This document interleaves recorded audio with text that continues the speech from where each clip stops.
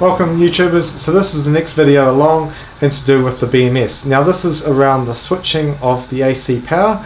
Now that's used to switch on and off the grid tie inverter.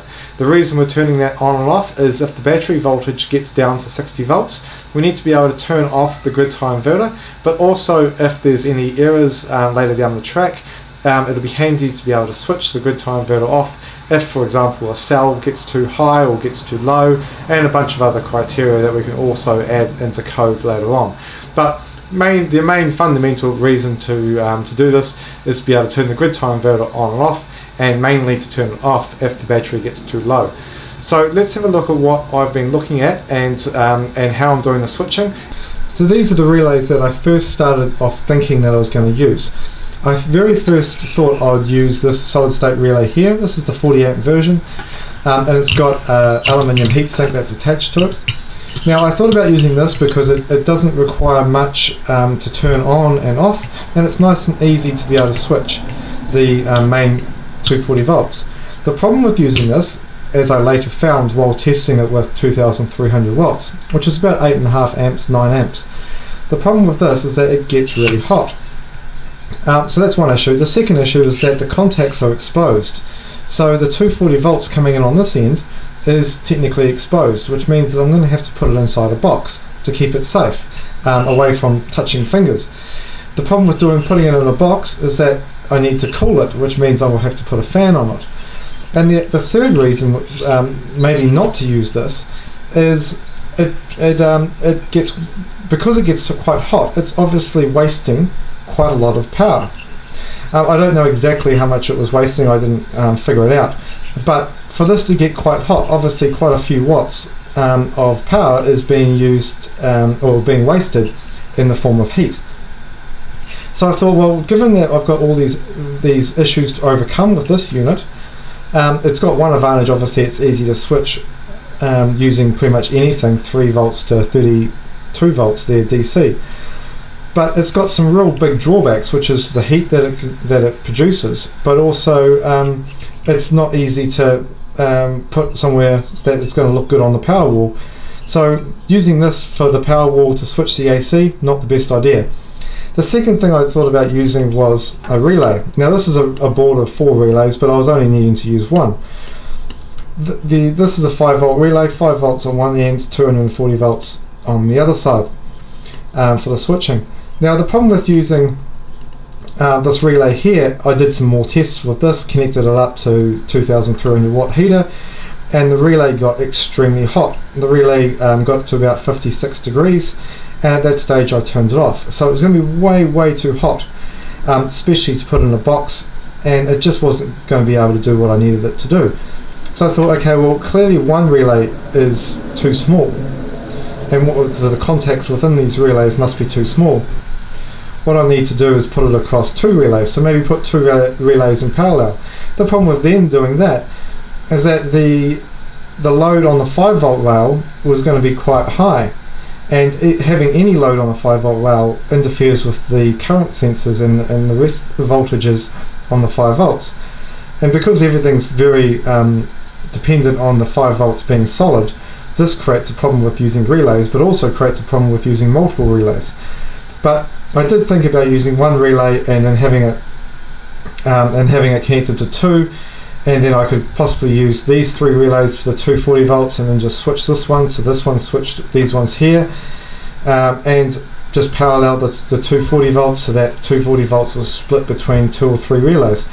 That would potentially solve the problem um, on the 240 volt side however it created a new problem with how do you drive the relays the next thing I thought about using was one of these to switch the um, you know th three or four of these relays.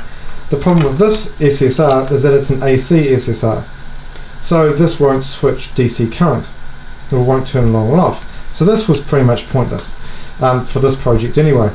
I did order one of these um, as a single, but I've also got a single one of these. And I kind of got to the point that uh, turning the AC relay on and off, or turning AC current on and off, was beginning to be a bit of a problem. And to do it efficiently, that I just wasn't wasting power and heat if I was to use this. So the next thing I found um, was one of these. this is a 12 volt relay. It's got it's a dual pole relay, so you switch it with 12 volts on one side and it switches these contacts. So there's one contact there one set of contacts there and another set of contacts on the other side of it. The advantage of using this is that it's pretty much the same as using two of these relays.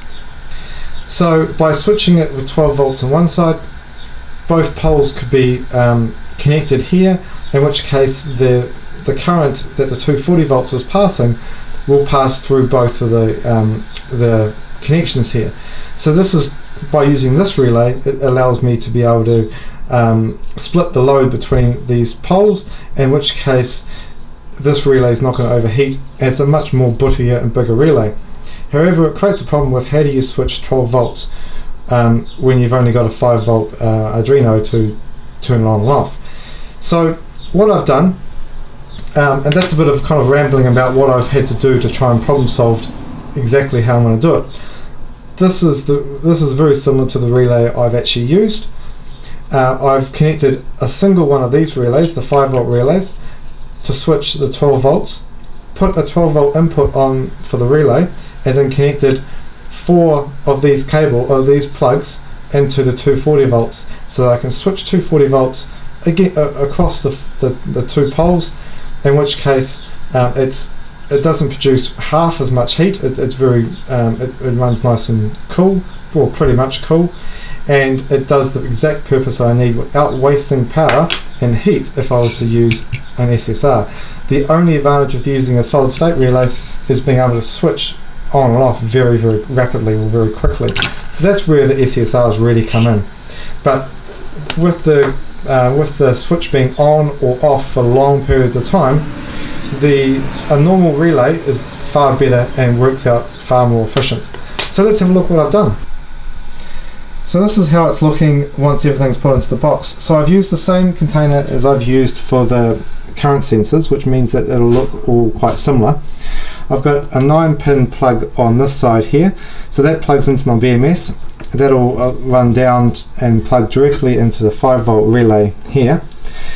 The other um, thing I've got is I've got a 12 volt power adapter that connects directly into this um, plug so I can unplug that.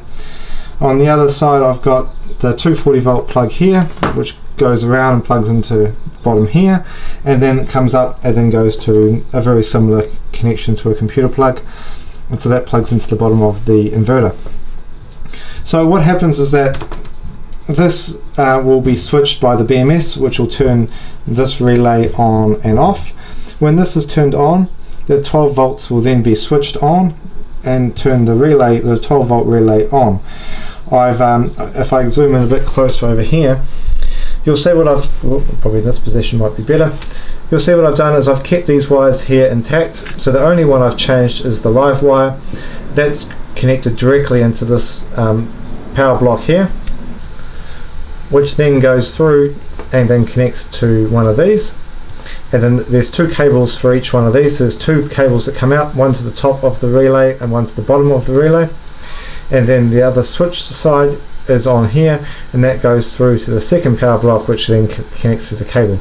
So I've only had to cut one of these um, cables out of the three and I've just put a power block one here one there which keeps it nice and neat and nice and simple. So when playing with 240 volts you want to keep things as safe and as simple as possible so that there's less chance of anything going wrong.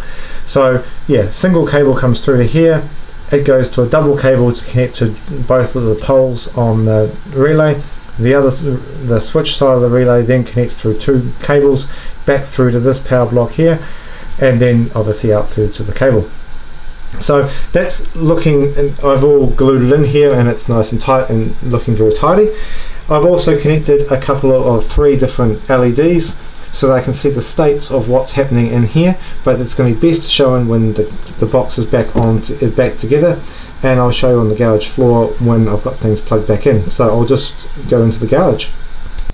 Right so this is how it looks like on the floor. What I've done is I've just pl plugged in the 12 volts and I've also got the top part of those LEDs so now you can see what it's doing. So 12 volts is turned on and plugged in the 5 volts this isn't plugged in oops there we go this isn't plugged into anything just yet but as soon as I plug this in and the code says that the relay should should be on, then it'll put 12 volts and uh, 5 volts in here.